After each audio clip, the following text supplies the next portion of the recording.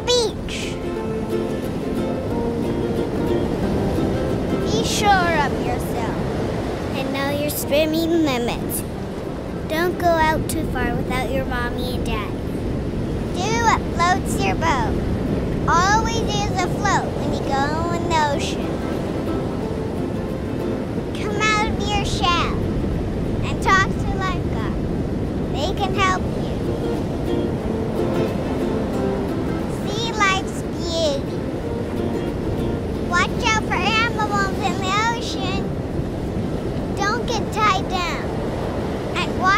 Shorebreak.